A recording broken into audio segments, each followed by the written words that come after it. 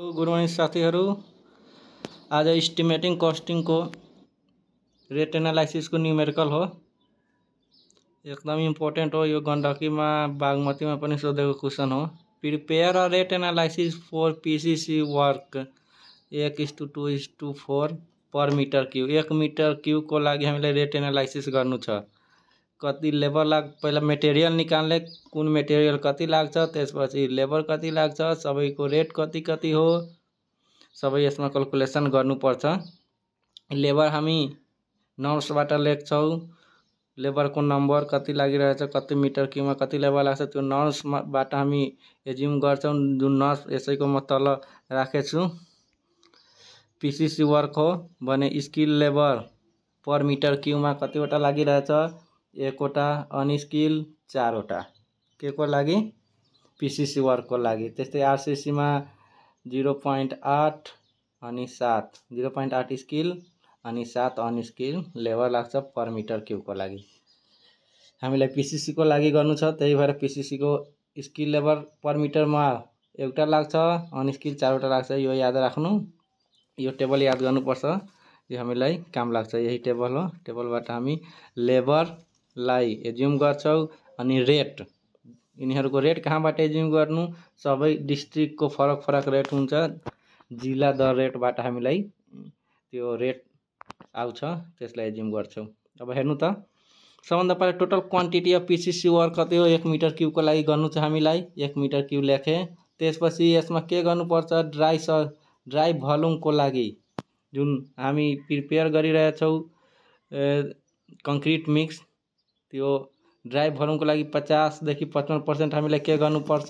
Extra राख्नुपर्छ extra add गर्नुपर्छ ताकि ड्राई भल्युम अफ कङ्क्रिट त्यतिसम्म पुगोस्। हेर्नु त ड्राई भल्युम एक मिटर क्युब हो। एक मिटर क्युब अथवा इन्टु पचास पर्सेन्ट गरेपछि एक पोइन्ट पाँचले मल्टिप्लाई गराएपछि भइहाल्छ।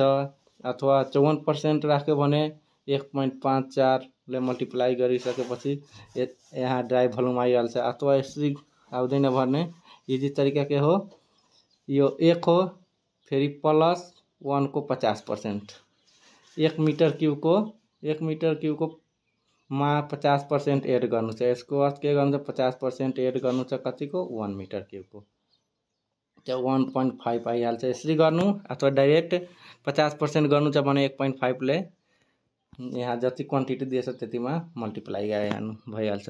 अनि त्यसपछि टोटल पार्ट पार्ट भनेको रेसियो टोटल रेसियो कति हो हाम्रो? एक is to two is to four त्यसलाई अब टोटल पार्टको रूपमा यहाँ लेख्ने total part one plus two plus four is equal to के भइहाल्यो हाम्रो? सेभेन अनि टोटल पार्ट भइसकेपछि हामीलाई के गर्नुपर्छ? क्वान्टिटी क्यालकुलेसन गर्नुपर्छ। मेटेरियल कुन मेटेरियल कति लागिरहेछ हेर्नु त? सबभन्दा पहिला म सिमेन्टको क्वान्टिटी क्यालकुलेसन गरेँ रेसियो कति थियो? One is to two is to four थियो। अनि सिमेन्टको लागि टोटल पहिला माथि लेख्ने एक पोइन्ट फाइभ मिटर क्युबको लागि dry volume by seven total part seven हो इन टू रेसियो कति हो? One is to two is to one यो रेसियो हो भने यहाँ रेसियोले मल्टिप्लाई गराउने एक पाटो सिमेन्ट इन्टु अठाइस पोइन्ट आठले मल्टिप्लाई गराइसकेपछि डाइरेक्ट ब्यागमा आउँछ। यतिसम्म मिटर क्युबमा आयो अनि त्यसपछि अठाइस पोइन्ट आठले मल्टिप्लाई गराएपछि ब्यागमा आइहाल्छ। त्यस्तै फोर साइन्डमा टोटल ड्राई भल्युम कति हो? डेढ। बाई टोटल पार्ट इन्टु कति रेसियो हो?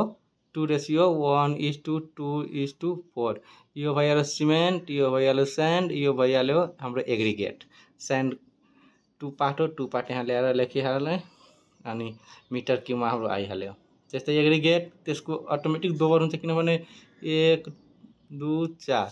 यो स्यान्ड हो एग्रिगेट हो यसको दोबर रेसियो त्यही भएर डाइरेक्ट दोबर लेख्नु अथवा total a dry volume by seven total part into four यो वाला फोर भल्युम आइहाल्यो एग्रिगेटको अब water cement ratio water cement ratio zero point five, यानि कि वाटर सिमेन्ट रेसियो भनेको water by cement is equal to zero point five.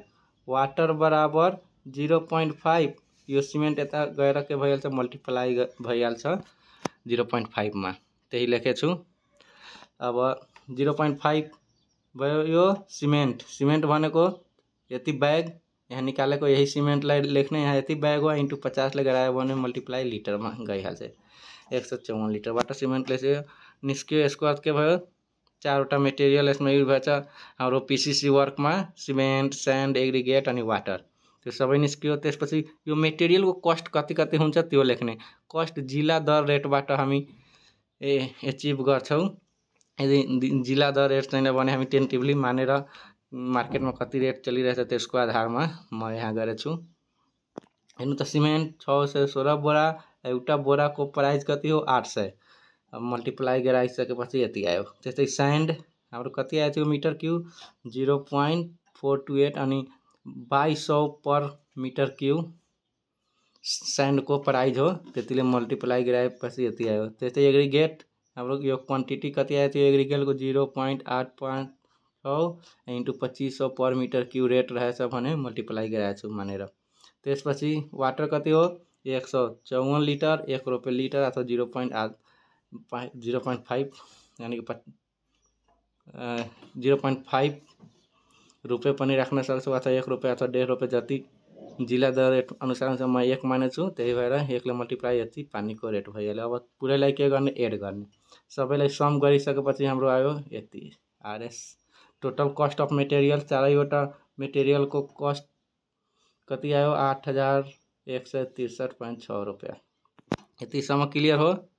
पहिला material गरे मेटेरियल पछि त्यसको रेट गरे रेट पछि अब लेबर लेबर कत कुन लेबरमा कति कस्ट लागिरहेछ त्यो गर्नुपर्छ हामीलाई. एज्युमिङ फ्रम स्ट्यान्डर्ड नर्म्सबाट हामी नेपाल स्ट्यान्डर्ड डु नर्म्स भर्खर यहाँ त्यो टेबल हो यही टेबलबाट हामीलाई हेर्नु त पिसिसीको लागि कति हो एक स्किल अनि चार अनस्किल त्यसैलाई राखेछु। अब हेर्नु त त्यसको कस्ट निकाल्नुपर्छ।